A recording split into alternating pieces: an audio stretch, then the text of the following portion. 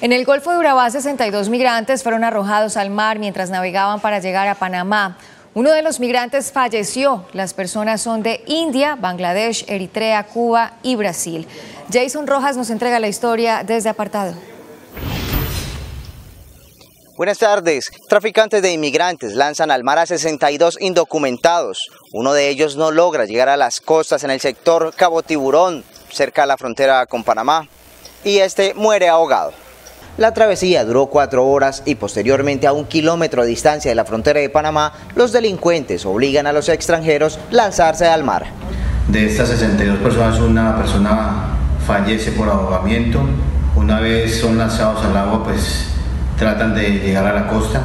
Eh, algunos lo logran, otras personas no lo pueden hacer. Los inmigrantes intentaban llegar a la línea fronteriza de Panamá para seguir la travesía por la selva y tratar de llegar a los Estados Unidos o Canadá. Eh, en total se reunieron 61 que se rescataron, eh, fueron puestos a disposición de Migración Colombia en Capurganá y entre los que se encontraban cuatro menores y una mujer en estado de gestación.